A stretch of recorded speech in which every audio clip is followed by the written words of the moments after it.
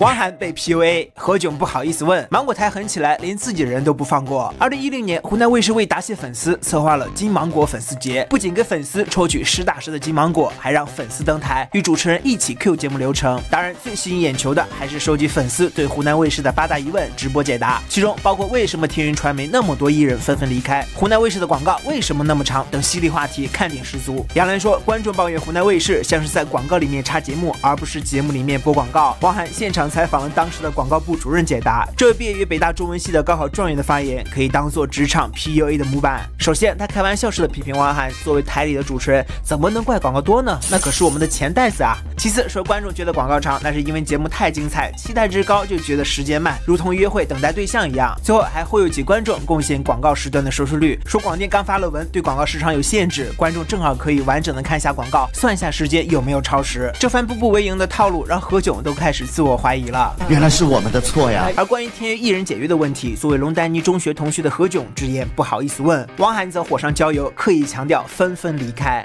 纷纷离开了，这不是应该去问那些人吗？对啊，龙丹妮的回答可谓是官方公关模板。首先，他肯定彼此，说无论是艺人还是公司都很年轻，也很幸运，艺人能在十八九岁的年纪被万众瞩目，这份幸运大家都不能挥霍。其次，承认自己的不足，说整个内娱都在发展中，很多东西还不规范，都在探索，只要。要遵守契约精神，一切都是好的。汪涵总结说，娱乐圈是流动的集体，无论他去到哪里，大家都知道他出道于湖南卫视。而何炅的总结好像有点意有所指呢。不管是去到哪里，只要是光明正大的走，那我们都会带着一个祝福的心。